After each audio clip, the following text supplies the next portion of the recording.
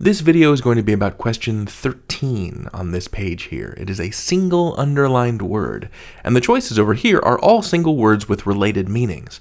So that means that this is a precision question. There are one to two questions like these on your official SAT, and you're being asked to identify the word that is most precisely appropriate for this context. Which word best fits the sentence? Let's dive into the passage because one of the most important things about a precision question is context. What's the text about? Is the author expressing an opinion? Is that opinion positive or negative? We want to match the context of the passage with the connotation, the second essential thing, of the right choice.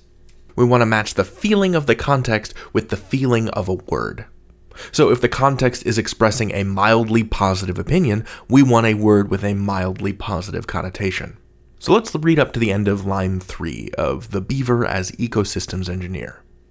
An ecosystem is a complex web of interactions between organisms and their habitats. Each component is vital to the sustainability of the others and to the system as a whole. Beavers, large rodents that use sticks, mud, and leaves to build dams in streams, are perhaps one of the best examples of the, here's the word, uh, interpersonal, is what it says now, of the interpersonal relationship among all aspects of an ecosystem.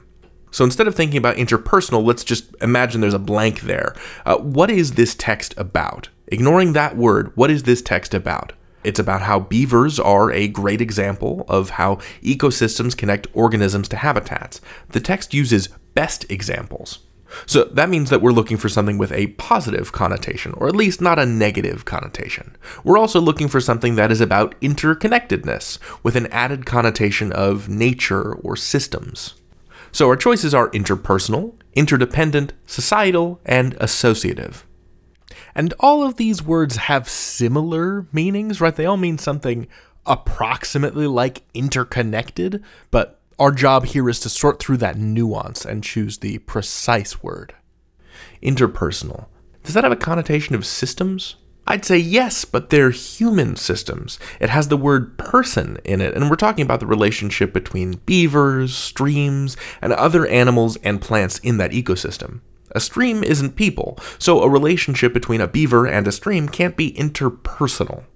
Cross it off. The next choice, interdependent, doesn't have a peoply connotation or a negative connotation, and it could be used to talk about systems, and specifically natural systems. I like that choice. Let's leave it for now and see if the next one is better. Choice C, societal, has, for me, too much of a human civilization connotation to it. Beavers may have a society, but we're not just talking about beavers on their own. This passage is about how beavers relate to a broader ecosystem made up of trees and sticks and streams, and these things can't have societies because they are not social animals like beavers or humans. So I'm going to cross off C for the same reason as A because it's too peoply. And that leaves us with interdependent and associative. Uh, while I couldn't tell you with great certainty about every possible meaning of the word associative, I do feel quite confident that interdependent has the connotation that we're looking for. And that means that interdependent is our choice. It matches the context of the paragraph. It has a connotation of systems without the added connotation of human cities or relationships. And unlike associative, it doesn't have a primary connotation with math. So, overall, your strategy for precision word choice questions is to think about connotation and context. And so, in that vein, I would say number one, eliminate extreme choices. Anything that doesn't seem to match the context, that feels too wild or out there, you can safely get rid of. Number two, eliminate tone mismatch. If you detect that the tone of the context is very positive, for example, if the passage was about the beauty of birdsong and one of the choices was screeching, screeching seems like too negative of a word to go along with the pretty birdsong passage, so you can safely eliminate that tone mismatch.